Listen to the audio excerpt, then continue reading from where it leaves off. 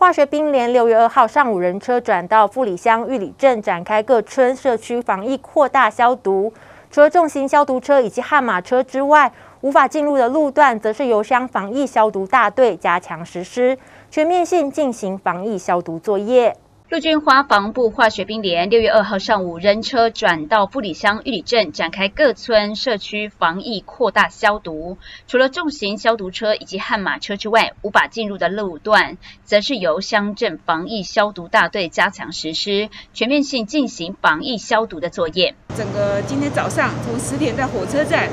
只要玉里呃玉里街上大条的马路哦，我们就是做。做一个很好的一个宣导，然后每一条路通通要消毒到很彻底，除非是说那个路况非常的狭小，那个那个防灾车就。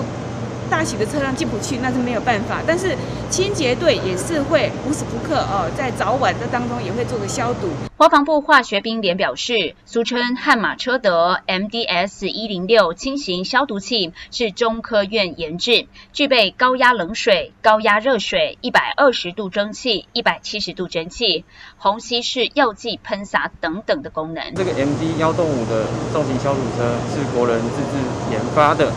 那它。可以装载三千五百公升的水，来做一个大地区的消毒作业。那也可以搭配后方有两位的喷洒手，可以实施雾状及柱状的喷洒，针对我们的工业毒化物、还有化学战剂